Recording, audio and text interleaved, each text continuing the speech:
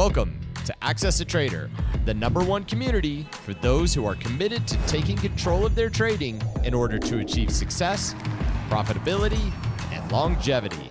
Thank you for joining us. Here's Dan Shapiro to help you find your edge, master your process, and own your future. Hey guys, good evening, everybody. Welcome to uh, another edition of uh, the AccessATrader.com uh, nightly uh, wrap up show. Hope everybody is doing well. Hope everybody had a good day. We'll get to uh, the particulars in a minute. A lot of stuff going on. Uh, again, just to remind you, yesterday we kind of launched uh, the celebration of my 25th year approaching uh, in this trading world. for all you guys, thank you very much for pretty good amount. A pretty good amount of people came aboard last night into today. You saw a lot of great action today, especially uh, when we talk about trading within channels. Uh, so hopefully you guys got a pretty good, you know, pretty cool look firsthand of kind of what we do here for a very, very long time. Uh, if you are interested, guys, uh, just click the link uh, below in the comments. Uh, and you guys can you know check it out for yourself. It's a pretty neat system, and all you need is a couple weeks to basically see if it's a right fit for you. Other than that, if you are brand new guys, only thing we ask is if you like the content and we try to be as unbiased as possible, uh, click like, just like the video. It takes you one second out of your time. Uh, share the video, subscribe, all that good stuff, and hopefully we will continue uh, to provide good value. So let's talk about it, right? So yesterday uh, we talked about the inverted hammers on the Qs, on the SPYs, and the one thing that I, I really wanted to echo in yesterday's statement was I didn't want to call it a, a, a blow off top. I, I, think that word is very irresponsible. Uh, nobody knows if that yesterday was a, was a blow off top. It's just it's just it's guesswork, right? But I wanted to say, and I kind of wanted to to really echo my my thought process yesterday that I felt it was at least a pregnant pause, right? And usually when you have an inverted hammer usually you get weakness the next day, next couple of days. So we came in, you know, we came in today. Um, everything was down, you know, very, very marginal, nothing crazy. Uh, data came out, and when the data came out, the market didn't like the data. And it, the one thing, um, you know, the one thing that we we do know, right? Nobody should have been at least shocked that this happened. And we've been talking about this for weeks and weeks and weeks that the you know the market is just not going to tap you on the shoulder and say, hey, by the way, when you you know you're going to give up three weeks worth of profits tomorrow. It's just going to do it, right? So when you're trading, you keep on pushing from overextended levels over and over and over again. Eventually, you're going to get caught with you know your hand in the cookie jar, and that's kind of basically what it was. And, and if you look at the final numbers, uh, there you know there there it wasn't as as bad as it could have been. Uh, you know, the, the, the Dow was down 525. It was down like 650. Uh, the Nasdaq was down, you know, 1.8 percent or 286 points. It was down 300 and change. It could have been a lot worse, right? And that's the best way of saying it could have been a lot worse. The problem was every single level that we were talking about in last night's video, uh, 34, right? 434, 433. That was long gone, right? That was absolutely long gone pre-market when it, when it, when everything was said and done. Uh, after the hot inflation report came out, the Qs were down into the 520, uh, 427s. I mean, everything was killed. Everything off our game plan coming into today's session was dead. It was just absolutely dead. And this is kind of where, again, especially for all you new folks who just came aboard, uh, for today's session, you kind of, again, got a firsthand what happens when plan A dies. What, when plan A dies, when plan B uh, gets, you know, gets basically taken away from you, you have to make adjustments, right? You have to put yourself in a situation that, again, you're not at the mercy of the charts, you know, right? At the daily charts. Because we trade within channels, because we trade from supply to supply and demand to demand, we can find opportunities within you know within these channels. That's exactly what we saw today. We saw an absolute phenomenal bounce on, on Nvidia. Actually, when Nvidia actually went green in the day, so did uh, SMCI and so did AMD. Uh, but the rest of the market held up really, really poorly for the majority of the day. If you look at the last 15 minutes, there was a massive, massive rally. Actually, it started a little bit after three o'clock, but especially in the last 15 minutes, you saw this really, really big short covering rally However, now this is now the lowest close in this whole formation, but at least now going forward, right? Going forward, we have a definitive line in the sand on the 20 day support. And, and let me tell you what this line in the sand is. So you see this 425 33 level, right?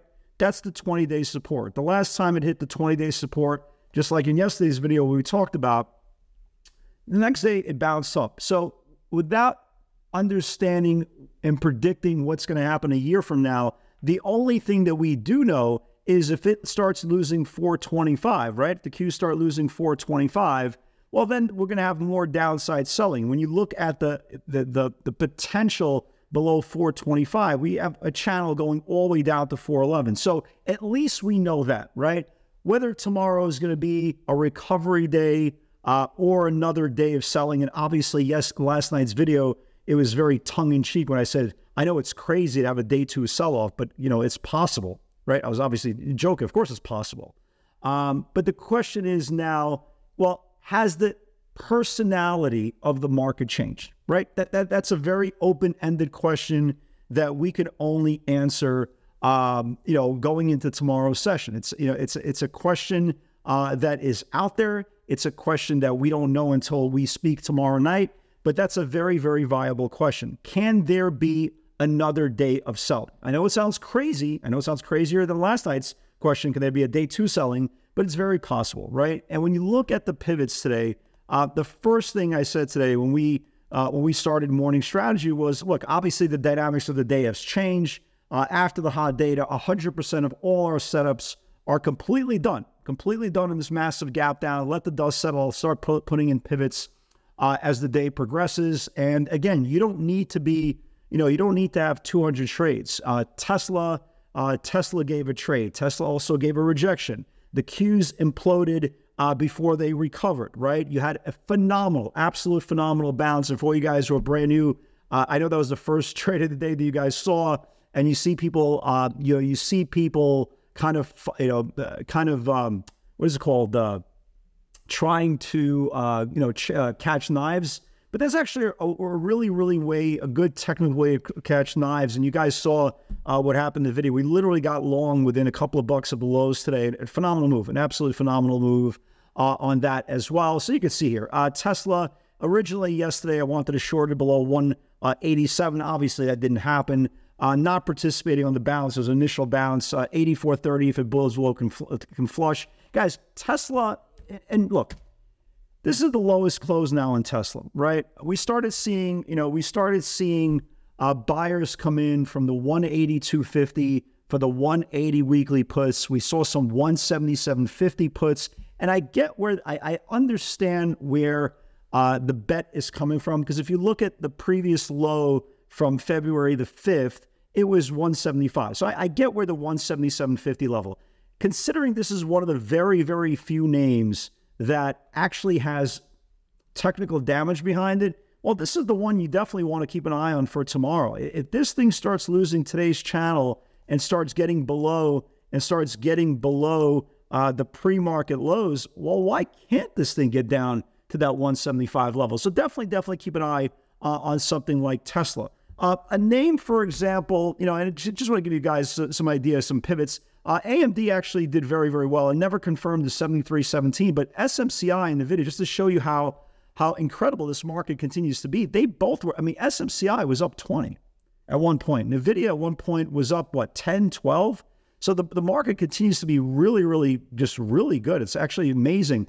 Um, Qs uh, gave a, a, really big move towards the end of the day before the rally. 428 keeps holding line in the sand for the afternoon. Uh, Qs lost at 428, right? Lost to 428, and they got down right to the 425 uh, level. That's what we talked about now, where it's the line in the sand.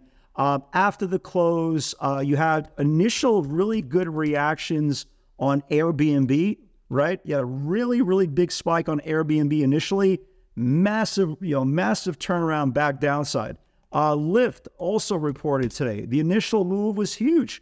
The initial move, what I believe, went all the way up to 20, and now it's only up a dollar. So it's going to be very, very interesting to see if the Bulls can withstand this haymaker. And today was a pretty aggressive haymaker because, again, I, I you can imagine that so many traders are just built on buy the dip no matter what happens buy the dip buy the dip buy the dip buy the dip only works until it doesn't it just it's just really that simple i know it's a very um, it's a very odd thing to say but it's the truth the a buy the dip is a scenario when the market's going linear and it doesn't take out the previous day's low if you're gapping below the previous day's low well, it doesn't doesn't become so hot and dry and that's the whole point once we got below yesterday's channel i mean it put up another you know put up another what eight dollars of downside. So again, guys, be careful. And I, understand, you know, when you're a new trader, you're in a position, and now it's against you after having some success on the run up, and you're saying this, well, I'm not going to sell it. I'm not going to sell it, right? I'm not going to sell it. It'll bounce back tomorrow. But what happens if it doesn't, right? I hope it does. You know, I hope it does. I hope everybody, you know, everybody is positioned the right way. But keep this in mind when the market started selling. And again, I the last thing I want to do is compare you know, the bear market of 2022 versus one day of selling today. But my point was that's that that was kind of the approach of a lot of people who got caught in, in a really big spin cycle of selling because they came off of a massive 2020, 2021, and they were buying these stocks off highs. And 2023 hit, and what happened, right? Well, the stock is down 10%. Oh, I'll hold it, it'll bounce back. The stock is down 20%. Well, I'll hold it, it'll bounce back. God, I hope it bounces back. It's down 70%. Is it really going to bounce back? I might as well hold it. Um, you know, there's no point now. Again, I'm not saying that's going to happen, but again, you have to remove that, you know, you have to remove that personality, personality and thinking that your position will bounce back. Hopefully it does, right? Hopefully this was, again, just a one day uh, scenario. And just like every other time it hit uh, the 20 day support, look what happened here, right? On January 17th, it hit the 20 day support. What happened? We bounced. On January the 31st, we hit the 20 day support. What happened? We bounced. Well, today we hit the 20 day support. Are we going to bounce tomorrow? To be determined. But again, at least now we know there's a line, a definitive line in the sand. It's 425 on the Qs. And if the Qs start getting below this 425 level, then yes, there is going to be another round of selling. So that's it, guys. That's the that's the spiel. Uh, that's the that's the spiel, and I'm sticking to it. That's my story. Uh, tomorrow should be interesting. Uh, a lot of volatility, a lot of aggression.